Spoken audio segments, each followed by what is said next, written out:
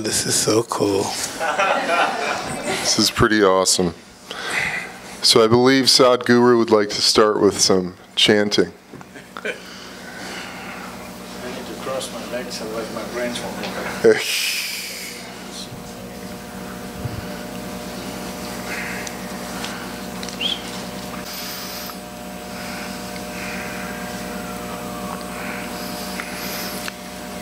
जननं सुखदं मरणं करुणं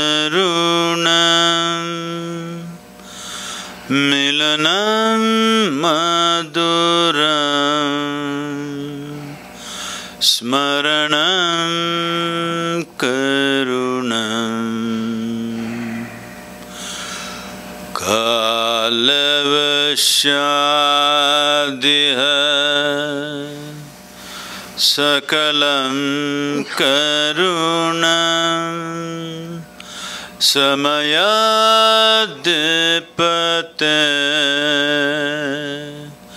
अखिलं करुण।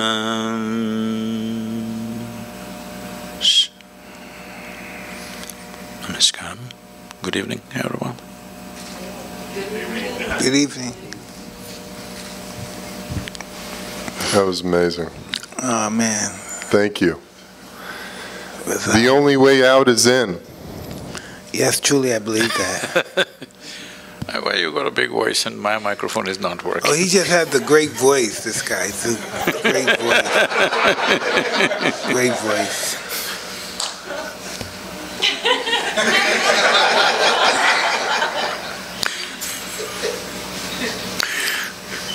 May we begin? How is it? Is your mic okay? As long as it's not about, I'm okay. Okay. There it is. There it is. So tell me, um, what do you think you're here for? What would you think I would want to talk to you about? I'm sure you did research on me, my life, and who I am, and all that stuff. But what would you think I want to talk to you about? What would you think I would want to listen to you for?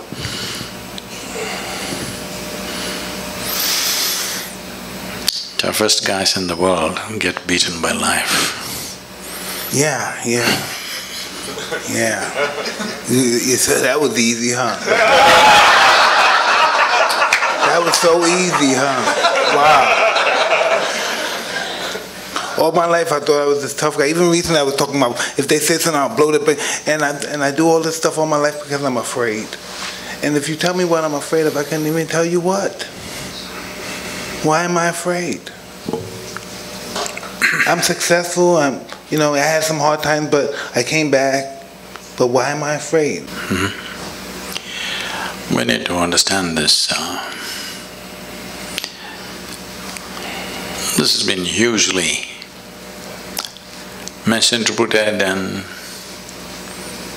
misunderstood on various dimensions, whether it's fear or love or anger or joy. We need to understand it's not about something, it's by itself. It is not that there must be something that you must be afraid of. It is not that there must be somebody that you are in love with. It is not that you are happy about something or miserable about something. You can be simply miserable. Hello? Six? Or uh, you can be simply happy. You can simply sit here just by yourself and be very loving. You can sit here and be terrified about nothing. Because human experience is not created from outside. Human experience is happening from within. So what happens from within may sometimes find outside stimulus, but you can work it even without external stimulus. Hello? All of you are experts, aren't you? Without any external stimulus, you can create pain, you can create joy, you can create misery, you can create anger, love, fear, whatever you want. Because the seat of experience is within you. Only thing is you are not sitting there, you're crawling around it. You're supposed to be sitting there on the seat. If you are sitting on the seat of your experience, you would decide what should be the nature of your experience. Right now, because you're crawling around, something happens accidentally. We find an excuse. It's because of this guy I'm suffering. Even if he's not there, we would find somebody else. Hello? if that guy is not there, we'll find somebody else. If that is not there, we'll find something else. So, this is not about something. This is about that you have not taken charge of the seat of your experience, that's all. You just need an excuse. And world will, of course, the world is quite enthusiastic about providing you the excuses It will They will provide lots of excuses But believe me, if you were alone in the desert, you would still go through all these things without anybody around you, without any threat to your life, yes or no? So, this is the fundamental flaw with life. Instead of fixing myself, I want to fix the whole world. Well, do what you want. You can't even fix one more person absolutely in your life. Hello? Hundred percent? Did you get anybody ever just the way you want, one hundred percent? Did you? Even they're telling me even robotic machines have their own characteristics, they do their own thing. even if you have a dog these days, they do their own thing. Yes, because you couldn't fix anybody, that's why you try to settle with a dog. But even that guy does his own thing. You can never fix anything outside of you hundred percent. If at all, if you're looking for that kind of success, hundred percent, you can only try with this guy. Try anybody else, you will fail. Yes or no? Hello? Try anybody, you will definitely fail. There's only one. This one, you could do him hundred percent the way you want. If you manage this one the way you want, where is the question of fear, suffering, misery, all this? This is not because of situations. This is because of the state we are in. Because no investment has been made for the being. First of all, we must decide are we human beings or are we human creatures? The difference between a creature and a being is, a creature is a consequence of compulsive reactions to everything around us. That's a creature. A being means you know how to be. If you knew how to be, would you be blissed out? Or would you make yourself fearful or miserable or what? What's your choice? You must choose, I'm going to bless you just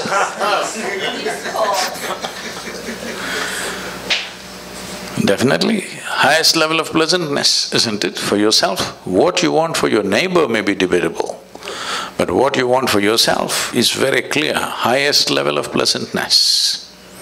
Why such a simple thing is hap not happening? It is not happening because, uh, you know, we gave you a very complex machine. Peak of evolution on this planet is you. Hmm? If you were an earthworm, you wouldn't have these problems. Just eating, sleeping, reproducing, dying, you were fine. You're doing great as a creature. But you became human. Now it's a very complex machine. But you don't even bother to read the user's manual. Simply somehow you want to do it. Such a complex machine, if you try to do it somehow, accidentally, oh, it will cause much pain. Unable to bear pain, most people have given up on joy and moving towards pleasure. You must understand this. The need for entertainment and pleasure in the world has increased simply because there's no joy. If really human beings were joyful, they would not need so much entertainment and pleasure in their life. Pleasure becomes a compulsion when there is no joyfulness and if you don't cause pleasure with something or the other, pain is just waiting in the background, just there. So, fear is not about something. Fear is just your inability to manage your thoughts. They are running away ahead of you. Fear is always about something that's yet to happen, isn't it? Yes. So that means you are suffering something that does not exist. If you suffer something that does not exist, there are medically very bad terms for that. It's not about one human being, it's just literally ninety-nine percent of the human population is in this condition. Different levels maybe, but ninety-nine percent of the human population is in this condition. They are suffering things which do not exist. What happened ten years ago, they still suffer. What may happen day after tomorrow, they already suffer. What happened ten years ago does not exist right now. What may happen day after tomorrow does not exist right now. But things that don't exist, they suffer simply because two major faculties, two major faculties that you have which sets you apart distinctly from other creatures is, you have a very vivid sense of memory and a fantastic sense of imagination. These two faculties, which are the best things you have, this is what most human beings are suffering. They are suffering their memory and they are suffering their imagination. These are the greatest tools you have. So, what should have been the most fantastic well-being? When I say well-being, you know Charles Darwin, that guy, the English guy? Hello? He said, all of you were monkeys, not me. He… that all of you are monk… were monkeys and you became human. So, uh, essentially, on this planet, you're the peak of evolution. You agree with me or no? Hmm? So if you are the peak of evolution, that means uh, you have come with the highest level of faculties. Because there are so many possibilities of being human, because your life is not fixed like that of a creature. When I say not fixed like a creature, for every other creature, nature has drawn two lines within which they live and die. The reason why an animal's life looks so much simpler and better is because there are no possibilities. So what human beings are suffering is their possibilities. If you destroy the possibilities, you will also be fine. If you want, we can have a portion of your brain removed. You will be so peaceful, you will not know fear, you will not know suffering, you will not know anxiety, you will not know nothing. All we have to do is take away the possibilities. With the possibilities, the problems are also gone. So right now the problem is the fantastic possibilities that have been invested in us. So to take away the possibilities, either we can remove your brain or we can soak, soak it in whiskey. Both ways you can do it. You take away the faculties, then you're okay. So, the problem is just this, that when you're given something so complex, you need to spend a certain amount of time knowing the nature of the machine that you're using. See, some people are handling these cameras. That's not a spacecraft. It's a simple enough machine. But I'm sure these guys have spent years trying to know it the best. Just any of you get there and do it, what'll happen out of it? Just see a simple machine like a camera. Yes or no? Somebody invested their life. The better they know it, the better they use it. Is it so? Hello? Yes. Why is that not true with this? The better you know this, the better you use it, isn't it? So if you know it really well, people say you realized. But those, I, I think most of us, um, especially when, when we come to the level which we're acknowledging of you, that we all have the urge to improve ourselves. No, they should not improve themselves. Why? Because they may… fear also may improve, misery also may improve. It's happening to a lot of people. See, why did we invent this idea of education? Twenty, twenty-five years of investment of life, nearly one-third of human… effective human life is invested in school and college for most people. So tell me, are educated people more joyful and fantastic compared to uneducated people? No, but that's not the only way to improve yourself. I don't only look at that in improving yourself, that's just… No, I'm saying that was the idea behind it, isn't it? I don't know. I mean, it's talking about it from far from a human perspective to reach your highest potential until you it, you don't even exist anymore. No, I'm saying improvement as an idea is not a good idea. What you need is realization, that you realize what is the nature of your existence. From that, you do whatever. If it's a physical activity, you can improve. You can improve uh, how you're doing something in the world, but you cannot improve this one. It's a fake thing. If you realize everything is settled, otherwise, anyway, it's a struggle.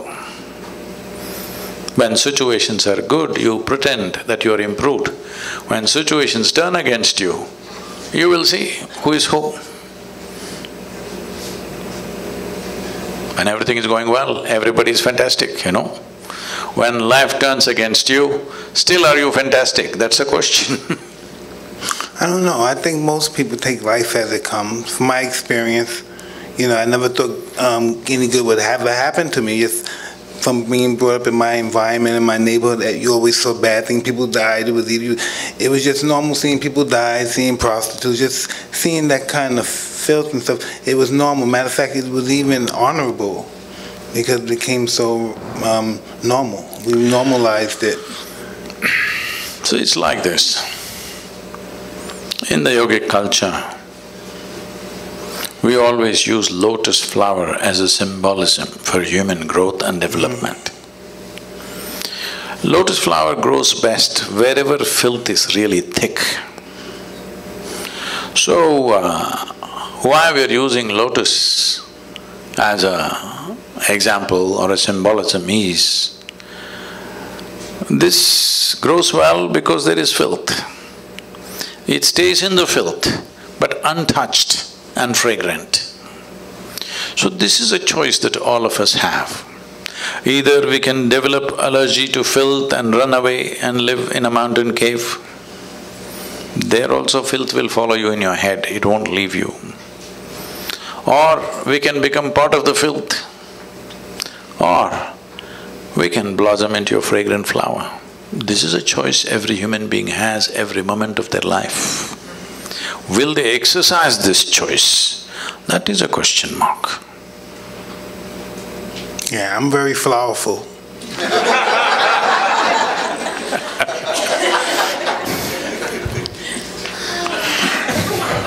right? Definitely are. You definitely are.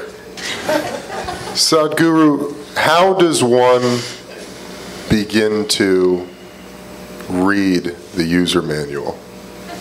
So, uh, user's manual means uh, there is a systematic way of observing simple things. When I say simple things, it is a fact that what you call as myself right now is largely the physical body. This is an accumulated dimension of who you are. You gathered it over a period of time, isn't it? Hmm? It's a food that you've eaten, it's just slowly gathered. So this is called as Annamaya Kosha, that means this is a food body. So what kind of food you're putting into your system has a consequence. Well, everybody may have, grow up like that, but the question is, is it fulfilling the purpose of being a being, human being, not a human creature? Is it supporting your nature of being a human being? That's a question. Well, when it was a question of survival, we ate whatever came our way. That's a different matter. But now survival is taken care of, it's a time that we need to pay attention. If we want to be human being, what kind of body should I possess?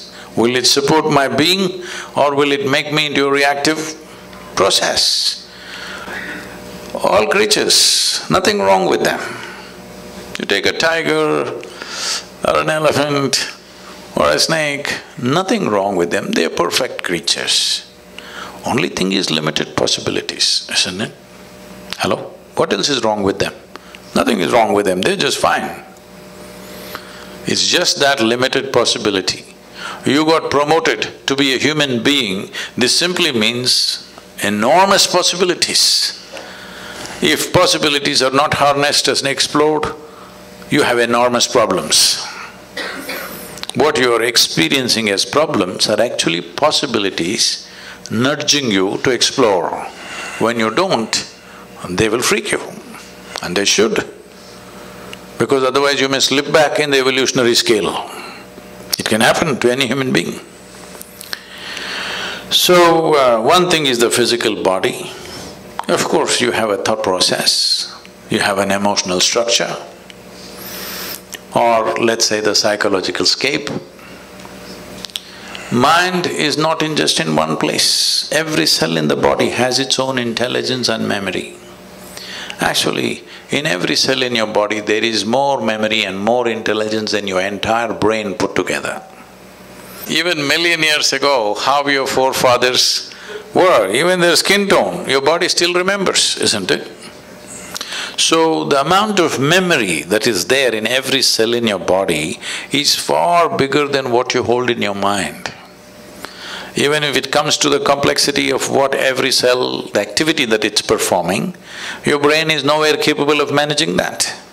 So, we don't see intelligence or mind as one place, the entire body. So this is a body of intelligence. Because people have gotten trapped in their own thought process, they think intelligence is only here. This entire system is full of intelligence, isn't it? Do you know how to manage your kidneys? I'm asking you. You know. Drink a lot of water. no liquor. that doesn't solve everything. Oh, man. Many water drinkers have died too soon. I'm asking, the complexity of any one organ, are you able to manage consciously? No. It But is why so… do we believe we can though? Huh? Why do we believe we can? Uh, because we are full of bullshit. Yeah. We're pretty delusional, pretty much. Yes. Everything that we do not know, we want to believe. We are still not straight enough to come to this place. What I know, I know. What I do not know, I do not know. Whatever I do not know, I believe. Well, you can bull yourself like this for some time. Because, uh, can I tell you a joke? Yeah, please. It's getting too tense here.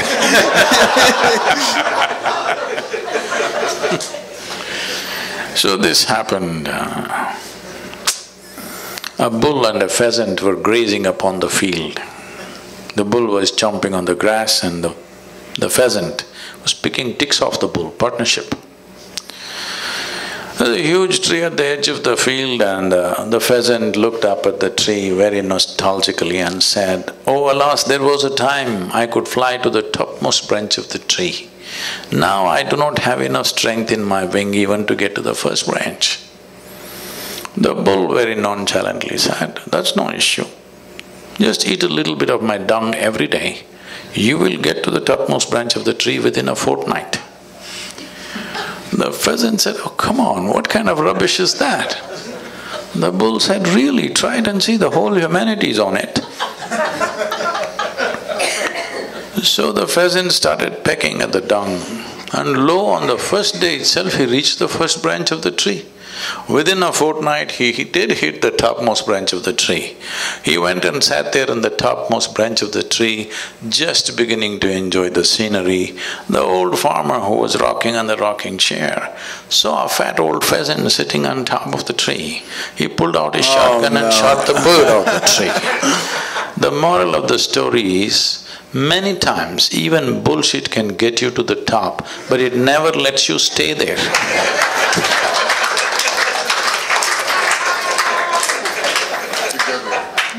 So people are trying to bull themselves into well-being. Somehow, tell yourself funny, fanciful things and feel good for some time, but full of fear. So full of fear, the entire humanity is full of fear because they're flying on bullshit. Unfortunately, they create all kinds of authorities which will dish out this bullshit. A time is coming, a very good time is coming, where uh, human intellect has fired in such a way that anything that is not logically correct, most people cannot digest anymore. Slowly we're getting there. So a time is coming when truth will be the only authority. Authority can never be the truth in future. So good times are coming. It's just that we must hurry it up so that it happens in our times.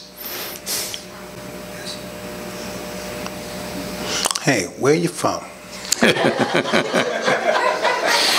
I don't know, but when I come to United States, every time I stand near the immigration lines, they make me stand in a line which says resident alien.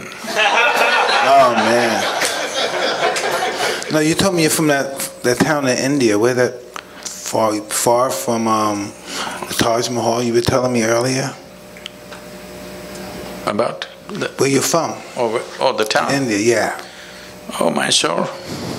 Mysuru, it's called today. Yeah. How did you, um, how did you get on your path? I thought I'm in a chair. No, no. How did you get on the path to meeting people like this, like us? How did we get engaged? How, how did you start doing this? What made you believe you can do this? Again, you're talking about belief. Let me clear that first. See, belief means just this. I believe in this or that means, I don't know, but I'm bullying you. Why can't I say I don't know? What's the problem? I do not know is a tremendous possibility in human life. If you see I do not know, naturally the longing to know will come, seeking will come, the possibility of knowing will come. Whatever I do not know, I believe, that means you will never know, you will just go on with your own stuff. So this is why believers always need a flock. But the moment you become a seeker, you become alone. Because if you are the only person who believes something on this planet that nobody else believes, you will feel like a bloody fool. You need twenty-five people around you who believe the same thing, now you say, yeah. All kinds of rubbish. But when once twenty-five people gather around you and all of you believe the same thing, boo, confidence without clarity will come. Confidence without clarity is a great disaster that is unfolded upon humanity.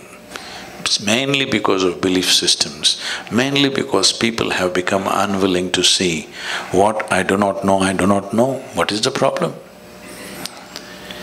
So, uh, in the yogic culture, we evolved a method. we always identify with our ignorance, never with our knowledge. Because in this cosmos, nobody knows where it begins, where it ends. It's a, in our perception at least, it's a limitless space. In this space, even if you grind all the libraries on the planet and pour it into your head, still what you know is just a speck in the universe. If you identify with that speck, you will become that speck. Because whatever you identify, you become that, isn't it? But our ignorance is boundless. If you identify with your ignorance, you will become boundless. So, what I'm doing is not because of my confidence, because of clarity. I don't have any clarity. I just know what I want and I see it and I consume it. But I don't look at it from a clarity perspective. I don't look at it from a educational perspective. I just know it, I have to have that in order to establish my life the way I would want it to be. I just don't have no understanding of it. I just know it has to be possessed by me in order to function the way I would like to function. See, uh, clarity is on de- various different levels. Well, you've been in a sport where if you did not see things clearly, you were down licking your own sweat and blood. There was clarity, otherwise it wouldn't work. The clarity of why I'm existing, not the clarity of why I'm fighting, fighting. As a child, No, no, I'm, I'm just saying, clarity is at different levels. yeah, exactly. I'm saying, any sport for that matter, without clarity you wouldn't be able to function. So, without clarity, there is no successful action in anything. Now, uh, if we are talking about clarity about life itself, have you paid attention to life first of all? First of all, where is life? These days, if somebody says, my life, you will have to sieve through many things. They may be talking about their dog, they may be talking about their husband and wife, they may be talking about their children, they may be talking about their career, they may be talking about their wealth, they may be talking about their car. We don't know whether they may be talking about their property, their home. We don't know what they're talking about when they say, my life. So let me make this very clear. You have a body, you have a thought process and emotion. But to have all this, fundamentally you're alive, isn't it? You're alive with many accessories. But right now the accessories have become larger than the life itself. Once the accessories become more important or significant than life, then of course everything is topsy-turvy. If you have to walk on your head, it's difficult of course, because that's not the way life is designed. If you were designed to walk on your head, it would be okay. But you're not designed to walk on your head, you're trying to walk on your head, it's hard. If something happens, people suffer. If nothing happens, they will suffer. If they're poor, they suffer their poverty. You make them rich, they'll suffer the taxes. They're not educated, they suffer that. Put them to school, endless suffering. Not married, they will suffer that. Get them married. I did not say anything.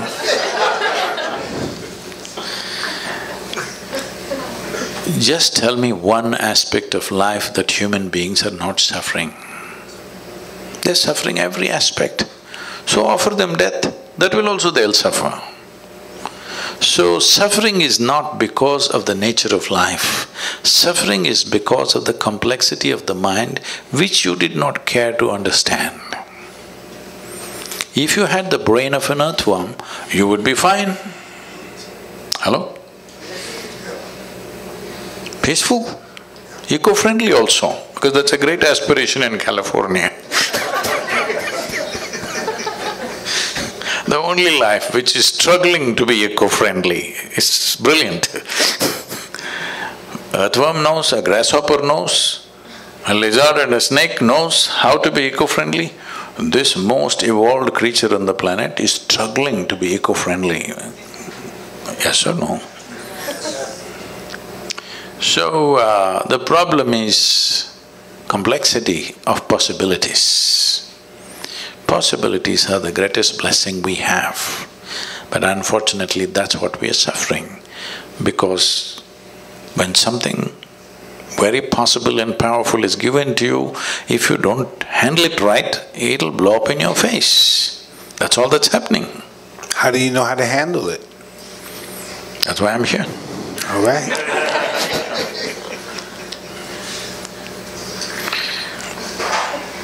It's… it's not that uh,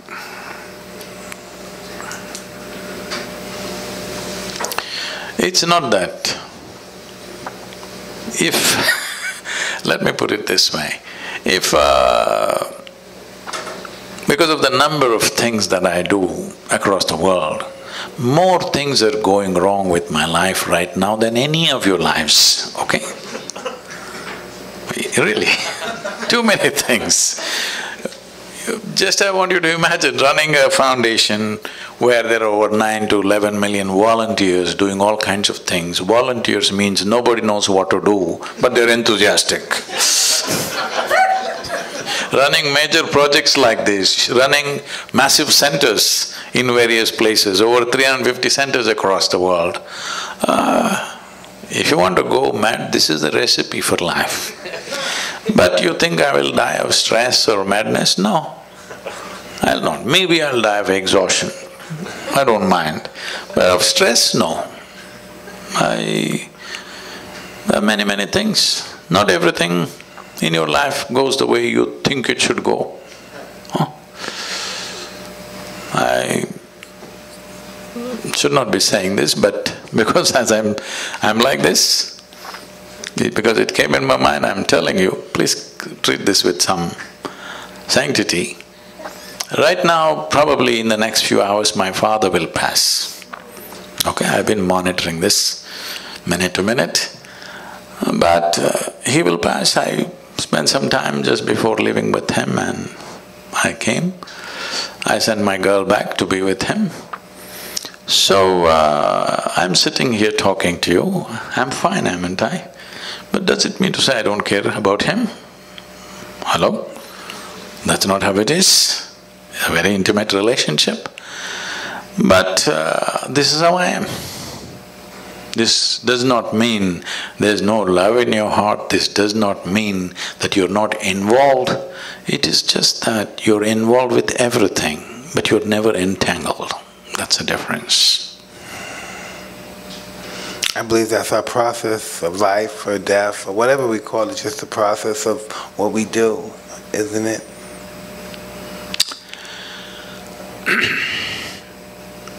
See, the most compulsive thing in most human beings is they want to draw a conclusion about everything. Because without drawing conclusion, they will not feel confident about anything in their life. They must draw a conclusion, oh, she's good, oh, she's okay, she's not okay, he's all right, that's not good, I love this person, I hate this person, this is my friend, this my enemy, every kind of conclusion.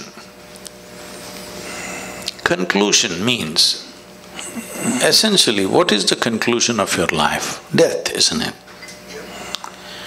Every time you conclude, in some way you die, you must know this. You know, I can take you back. Are there religious people? Hello? Are you? Religious people?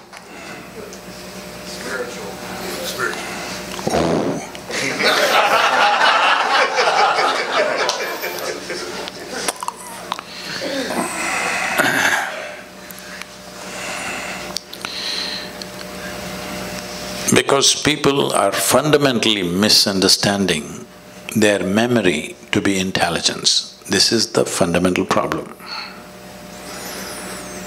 Our education systems are designed like this.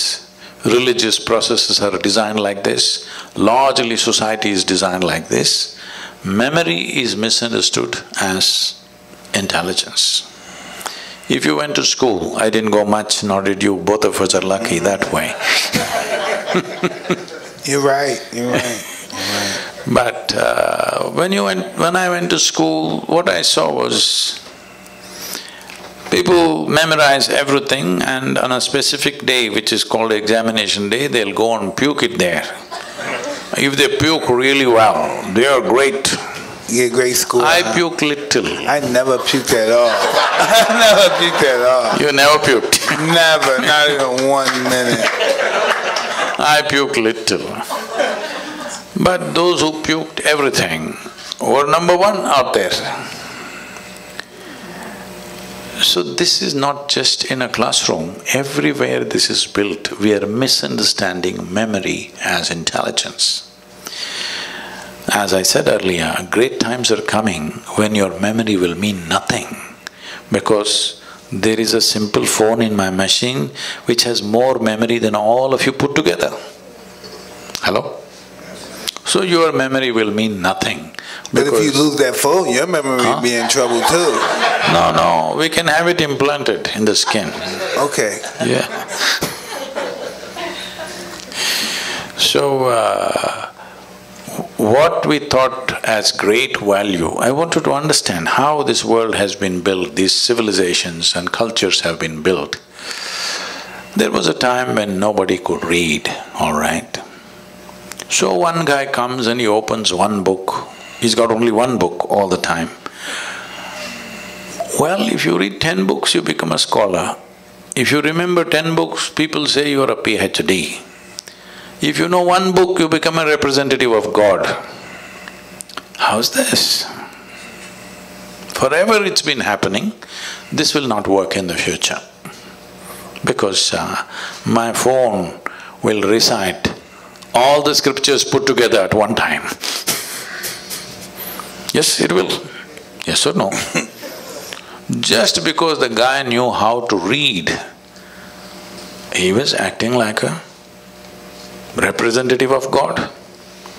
Suppose I came to California thousand years ago on a bicycle, when nobody had seen a bicycle, you don't know what it is. I came riding on these two thin wheels. Wow! I came and parked here and said, I've just come from heaven on this special God-given vehicle. You would all bow down.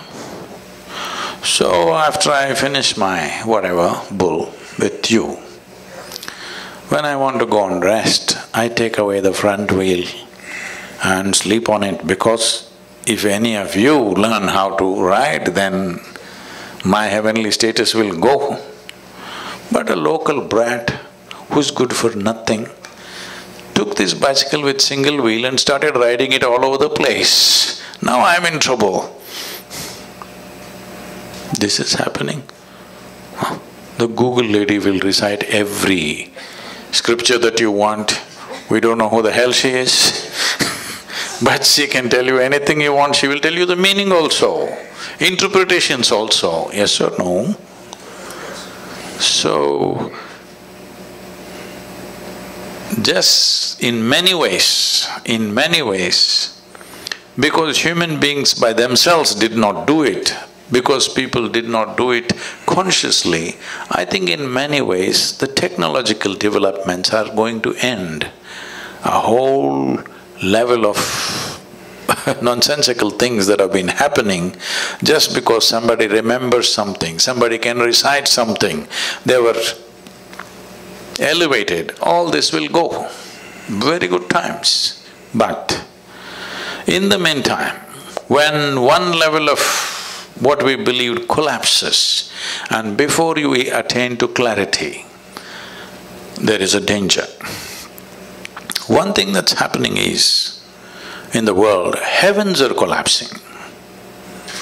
Hundred years ago, how many people believed they are going to heaven? And today, how many people believe they're going to heaven has come down dramatically, isn't it so? So, Is it okay? Good. Yeah. Real good. This happened. This happened in Alabama. Well, um, a Sunday school teacher was going full fire. This is Alabama. Full fire. Unfortunately, the audience were not like you, they were all tiny tots. Catch them young policy. In his rhetoric, he stopped and asked, What do you have to do to go to heaven? Little Mary in the front row, she's always in the front row, said, If I scrub the church floor every Sunday morning, I will go to heaven. Absolutely. Another little girl stood up and said, If I share fifty percent of my pocket money with my less privileged friend, I will go to heaven. Correct. Another little boy stood up and said, If I help those who are in need, I will go to heaven. Correct. Little Tommy in the back bench stood up and said, You gotta die first.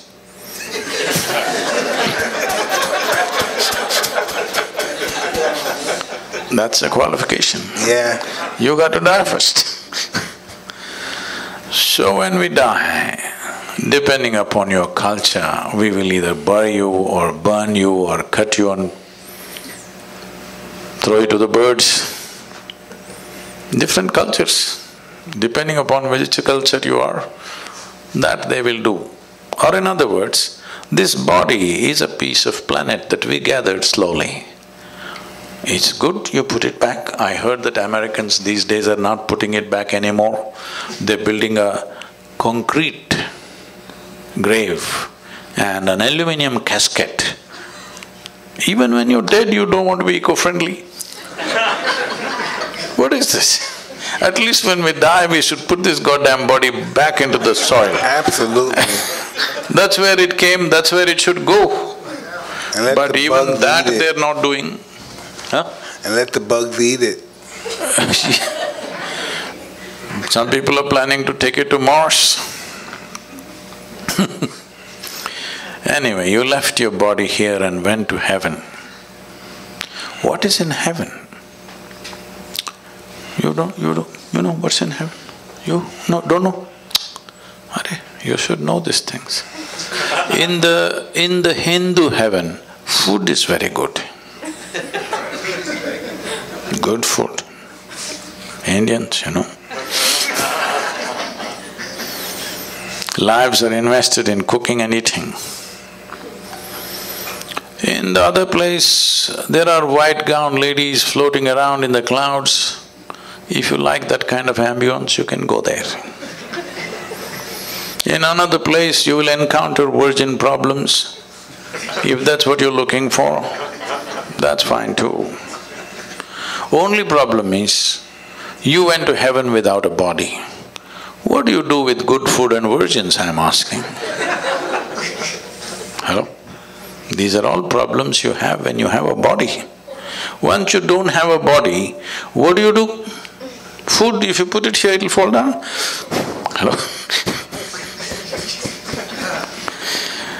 No, if you ask these questions, heavens will collapse. Heavens are collapsing. I think nearly seventy percent of the heavens in human mind has collapsed in the last fifty years. What do you think? Huh? And anyway, let me ask you this. Do you have any proof that you're not already in heaven and making a mess out of it? Do you have any proof? You're already in heaven, but making a mess out of it. Tell me, if you just change the geography of your existence, will everything about you change, I'm asking you? Hello? If you move from one place to another, you think everything will change? No. If this person, one person changes, everything changes. Doesn't matter where we are. If we raise human consciousness, that is, if we teach people how to sit here and be just blissed out. Hello? Look at my eyes, I'm always stoned. I'm not on any of your products, but No, you're not. I'm definitely not. But look at me, I'm always stoned. Because the greatest chemical factory on the planet is here. To what extent means, per second, your body is processing something like thirteen, I mean thirty-seven, three, seven followed by twenty-one zeros, whatever that number is. To give you a perspective, eleven zeros make a trillion. Thirty-seven followed by twenty-one zeros. That many chemical reactions are happening in this body per second. If you knew how to manage this, you can create any kind of experience you want in this. When you have this kind of a sophisticated machine, you are doing things in a caveman-like way. This is like we gave you a touch screen phone, but you're like this. Awesome. What will come out of that?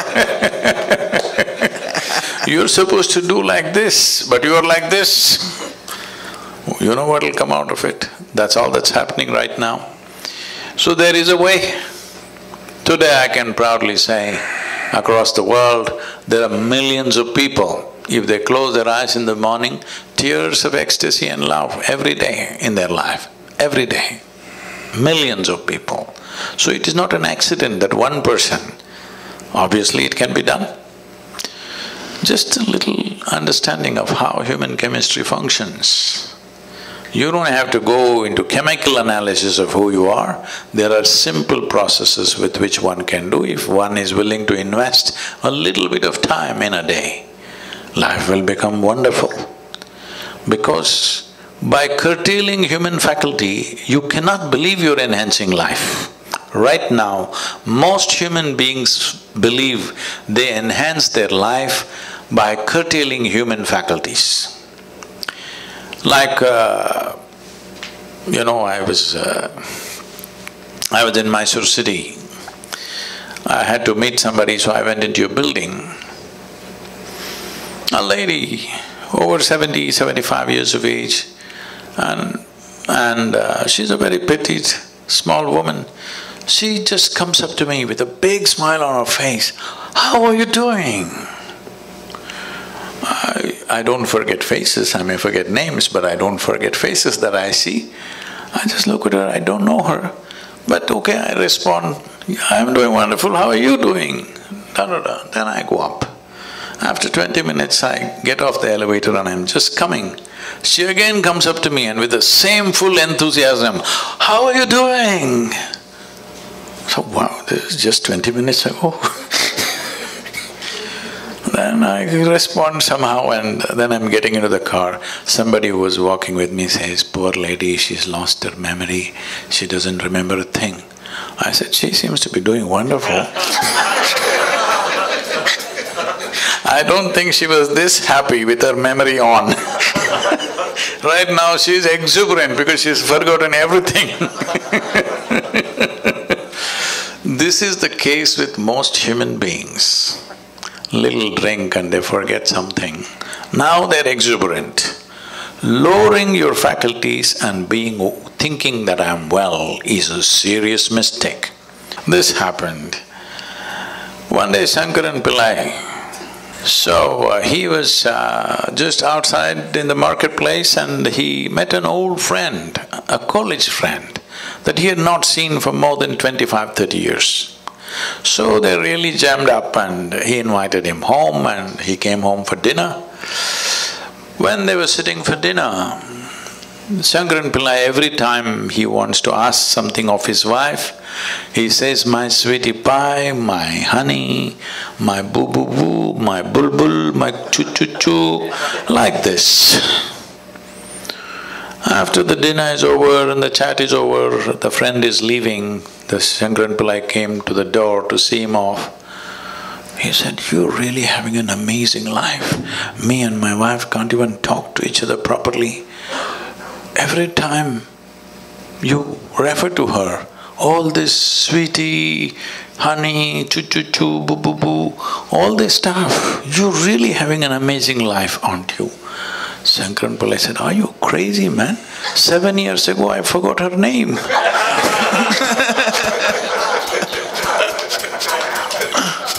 oh no. so many people are well only when they lose their faculties because their problem is of evolution. Their problem is just that they got upgraded and they don't know how to handle it. So tell us, how many children do you have? Hmm? How many children do you have? I know you spoke of a daughter. Mhm. Yeah, we want to know about you. How many children do you have? All right, I won't answer. No, no, you can ask. I have millions of them, only one is my mistake. Oh, no, man. I like that one. I like that one. Have many, many, many, but only one is my mistake. Okay. Hey, this is really an awesome meeting. I can't believe you're here. I'm just still in a daze. I'm just really happy to have you here with me and my friend Eben. This is really almost like a dream come true. We saw you and we were just um, in the stage of just, and you know, just reasoning with enlightenment, and we saw your um, your story how you became. You, one day you came and you fainted and you thought you were there for an hour and you were there for like 14 hours. That's my story. That's what. Didn't that happen to you? yeah. So I thought that I thought that was amazing, and so I stayed um, a great fan and I stayed following you. And then I was um, talking to Eben, and I would say, Eben, you think we could ever get him down here? You think he'd come down here and talk to us? We never believed you would do it, and now you're here. That's just man, so mind-boggling. Thank you, really. So now uh, that you asked this question, uh, how to do the re-user's manual, you know about on twenty-seventh of October was the Diwali festival, it's a festival of lights in India. Because people, these millions of people have been supporting me, particularly for the river movements that I've been doing uh, in India. 162 million people supported the movement. It's the largest movement anywhere in the world at any time. So, uh, with money, with uh, volunteering, in many ways they've been supporting us. So I thought on the festival day, let me offer them a gift. And I said, uh, on the Diwali day, if you register Inner Engineering Online, which normally costs $150 per person, I said it's free on this day for you. Whoa, 740,000 people registered. It's cost me a few million dollars now. Now, how do you feel about that? How does that make you feel? Uh, it's fantastic that so many people were waiting to do it. So now uh, I'm still in the same mode. So for all of you who are here today, we'll offer Inner Engineering Online free if you register before before midnight today. Hmm? That's the user's manual. I want you to understand, life is a certain exuberance of energy and a certain amount of time. This is all we have, a certain amount of time and a certain amount of energy. Do you have anything more? Rest is all imagined, isn't it? So this time is simply rolling away for everybody. We may think of many things, but actually time is just rolling away as you sit here. Since you came and sat here, you are two hours closer to your grave, yes or no? Hello? All of us. So you can't hold it back, you can't roll it back, time is just going. So the only thing you can manage is your energies. If you keep it phenomenally exuberant, you will know life with a certain intensity. If you keep it low, you will know life in a minimal way. So now this choice is yours. Now let's say time is passing, as the day passes into night, you will feel a little sleepy. Why? Your energies are like now you fell asleep. As far as your experience is concerned, you're as good as dead, isn't it? You don't exist, the world doesn't exist for those few hours. But you woke up in the morning, once again the energy has renewed itself and this is what you call as life. This renewal of energy and exuberance of energy is what you're referring to as life. So, if you want to experience life, if you want to know life, if you want to really ride this wave of life, your energy should be at the highest exuberance level or should it be put down? I'm asking you. Hi. Hi. So, uh, you mean a different thing by saying hi. Probably the only one that doesn't smoke marijuana or do any of them. No, no, I'm not asking you any of those things. So, uh, Oh, This- neat trick.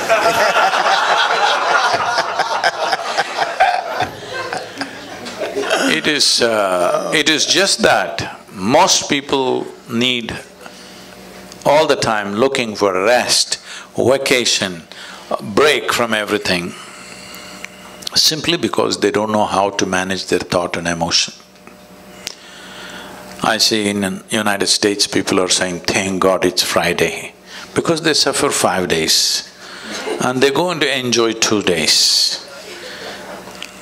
Life is not going to work like this.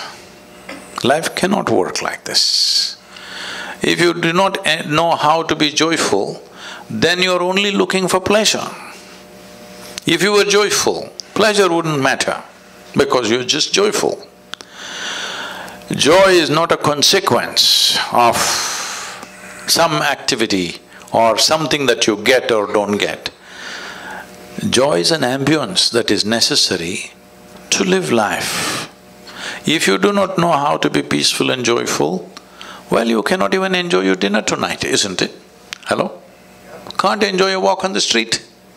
Can't enjoy the few people who are around you. You cannot enjoy anything, you need all kinds of stimulus to find a little bit of pleasantness within yourself. When I say pleasantness, let's understand this. If this body becomes pleasant, we call this health. You want this or no? Yes. Oh, You must choose, I'm going to bless you. Yes. You want this body to be pleasant or no? Yes, yes. If it becomes very pleasant, if it becomes very pleasant, we call it pleasure. If this mind becomes pleasant, we call it peace. If it becomes very pleasant, we call it joy. If these emotions become pleasant, we call this love. If it becomes very pleasant, we call it compassion. If these life energies become pleasant, we call this bliss. If it becomes very pleasant, we call this ecstasy. If our surroundings become pleasant, we call this success. Only to create pleasantness in our surroundings, we need the cooperation of various people and forces around us. But pleasantness of body, pleasantness of mind, pleasantness of emotion and energy is one hundred percent your business. Yes or no? I agree.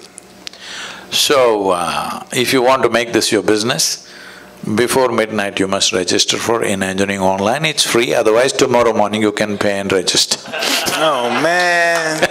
That's awesome. Well, this has been such a treat, and before we wrap this thing up, we have time for a few questions. All right. Hey, you, not you, uh, them. No, I'm just checking if you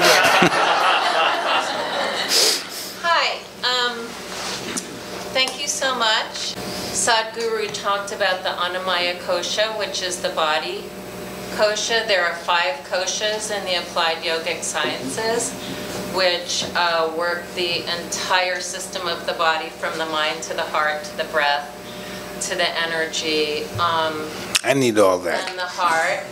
There are thousands of years of manuals from classical yoga, which is just meditation, to hatha yoga, to the tantrika, that um, provide ways of being that um, Sadhguru is uh, has expressed the top of tonight. So it's not an abstraction at all. It's just like what you guys do on Hotboxin', which is break down how you get to the soul of yourself by moving through your ego, by practicing goodness towards others. So, Oh, That's real tough, too. Mm-hmm. It's a difficult process. Uh, for me it was, for me. No, the thing is this.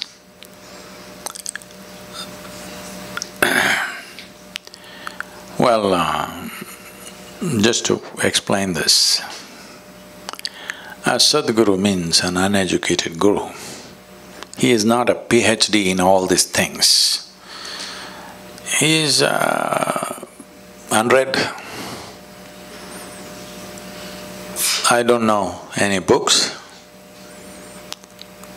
I just know this piece of life from its origin to its ultimate nature. If you want to know life, the only life that you can know is this life.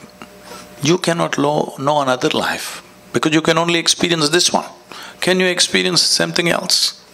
You can only experience this life if at all if you experience. So, uh, if we want to… if you want scholarship,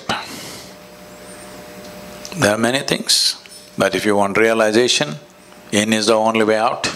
He's already been espousing that. If you want scholarship, if you want PhD in spiritual process, that's a different matter, it's an academic stuff. But if you want realization, in is the only way out. Why do you think there are books about life? You should read a book about life only if you are not alive. Suppose you are not alive, then to know about life you must read a book. When you are the life, hello? The only thing that you need to do is turn inward. Inward means what? Right now the only way you are perceiving anything is through the five senses of seeing, hearing, smelling, tasting and touching. This is the way you know the world. None of these things are geared to turn inward. You can't roll your eyeballs inward and scan yourself. You can hear this, but you can't hear so much activity that's happening here. If an ant crawls upon your hand, you can feel it. So much blood flowing, you cannot feel it because the sense organs are essentially outward bound. So, uh, to turn inward, you need a different faculty.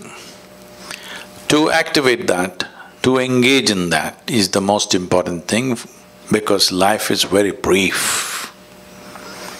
Only miserable people have a long life. if you're joyful and exuberant, it's a very brief life. Yes, it's very, very brief. Have you noticed on a particular day, you're very happy, twenty-four hours, poof, went up like a moment? You're a little depressed. Twenty-four hours feel like ten thousand years. Hello? Because only miserable people can have a long life. Otherwise, it's a very brief life. In this brief life, the most important thing is you know the nature of your existence. Don't add all kinds of uh, philosophies to this, this is very simple. It's like you bought a phone, a new phone. Should you read the user's manual in the first three days? Or should you read it after three years when you're discarding it? This is all. The first three days if you read it, you'll use the phone effectively, isn't it? To use this effectively, quickly, as quickly as possible, we must get this.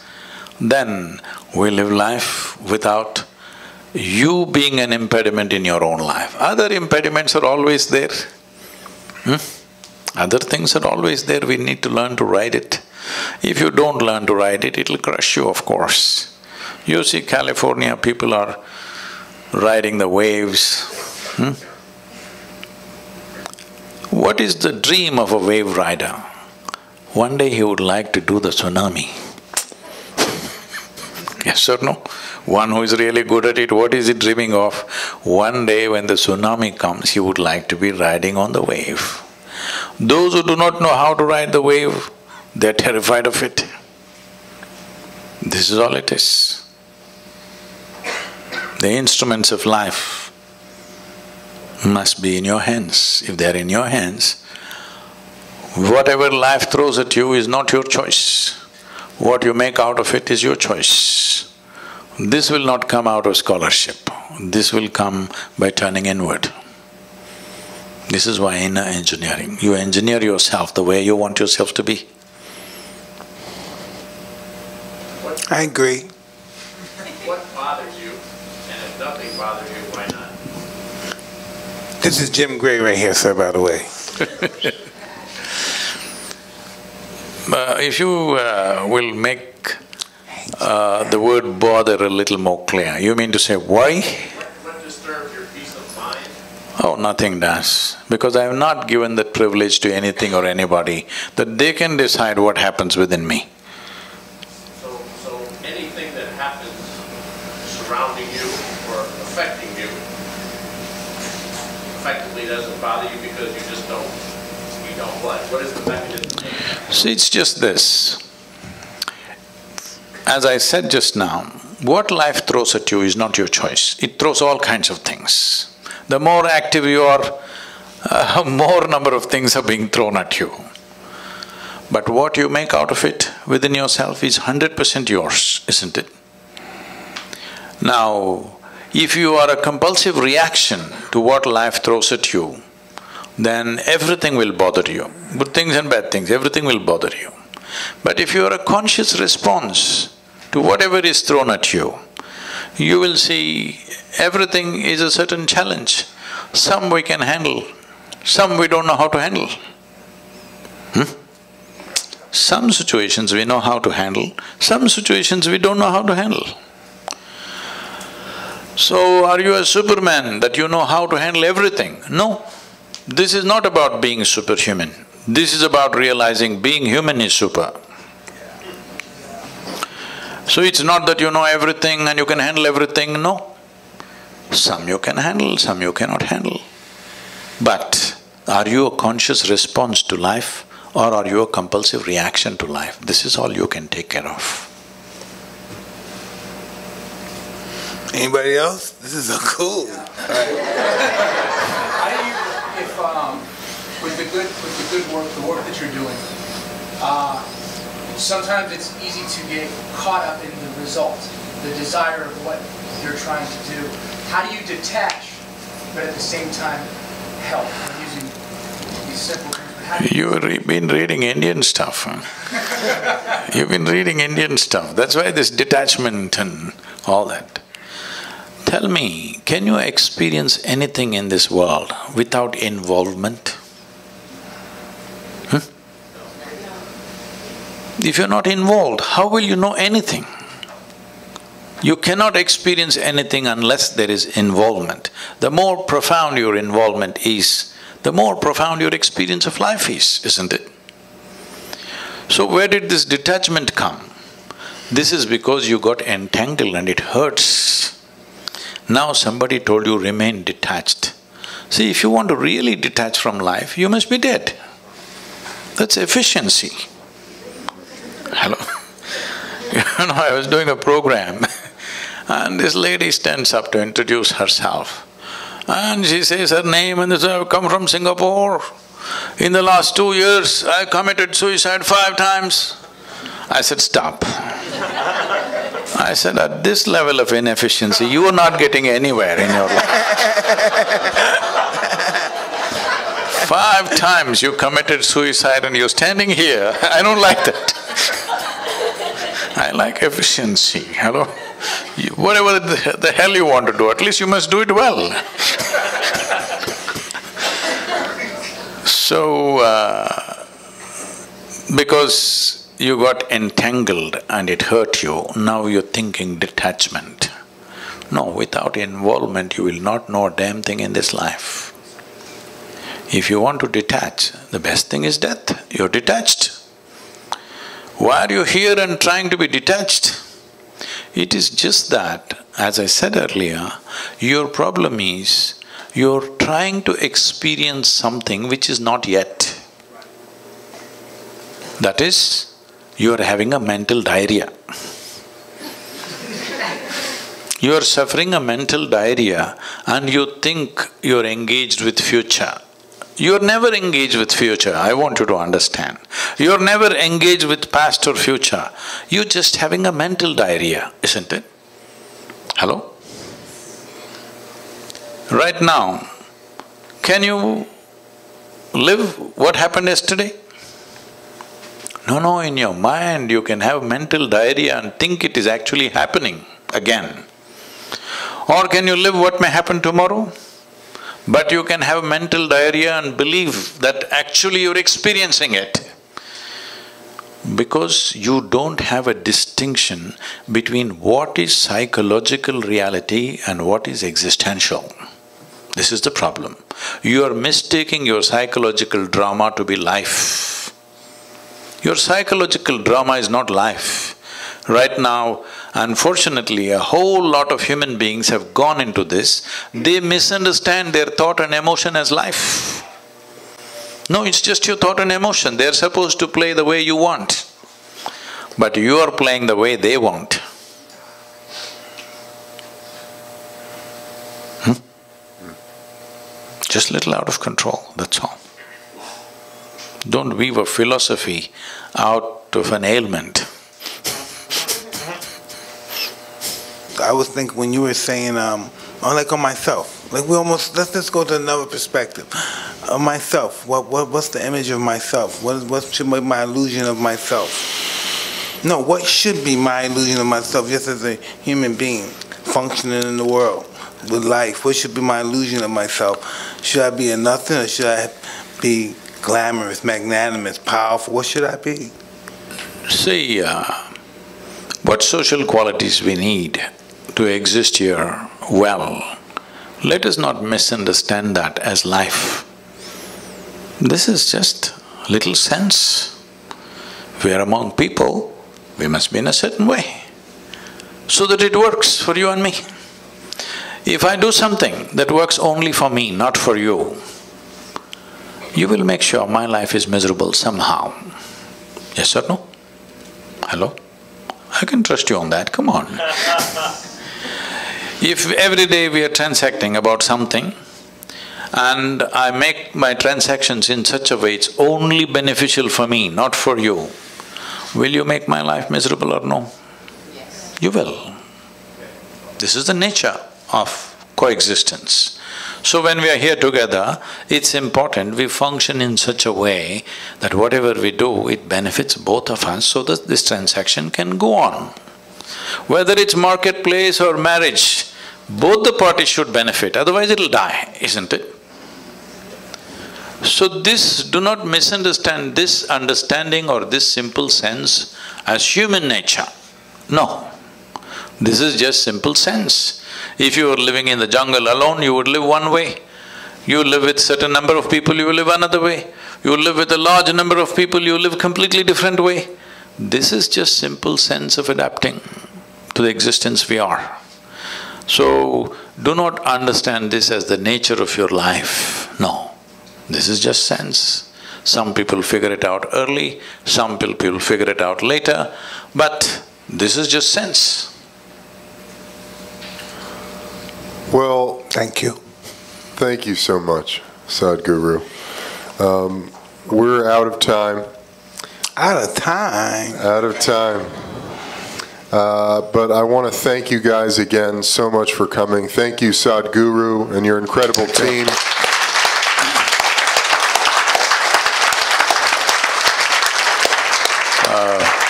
I would like to s- say it's wonderful to be here. I watched Mike fight way back, and uh, this may sound a little off, but at that time, uh, there were no televisions in India. We used to get eight mm films to play on the wall, project on the wall. So uh, this would go cut, cut, cut, cut, cut, cut, cut like that, you know. He was fighting like this, this, this, this, this.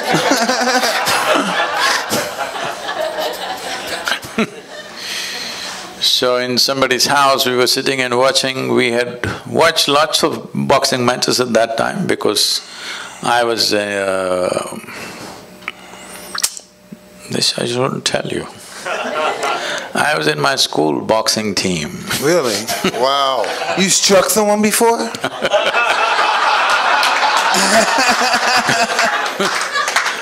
Uh, so, uh, so on that day, when I watched probably the first first time when you won the heavyweight, when we saw that and uh, much debate was going on, I said, uh, well, this guy could rule the boxing ring if he only maintains his balance. Because I saw a talent which I'm… I was just watching your interview today, which I think you're uh, that wonderful man who took you up and transformed a street brat into a champion. Yes, he did. Yes, he did. He did. He So he saw the talent too, I'm sure, and that's why he invested himself. It's fantastic. It's just this. Every human being, many things are hidden within every human being. Not everybody, unfortunately, gets the situational opportunities to shine. It's happened wonderfully in your life. Well, other things have happened. Though you came up with utmost disadvantage, you turned that into a phenomenal advantage in some way. But I hope the next part of your life will be more enlightening and more contributing to everybody's life because whatever talents we have, whatever intelligence we have, whatever capabilities we have, they will find maximum benefit to ourselves and to everybody. Above all, balance. If that one thing is there, everything else will find expression. If we lose that one thing, our talents and our capabilities unfortunately will turn against us. Right now, human beings are only suffering their own intelligence. If they had no brains, they would be fine. They're suffering their own intelligence simply because there is no balance. It is time that all of us in some way bring balance to ourselves and to the world around us so that human genius really flows without too much struggle.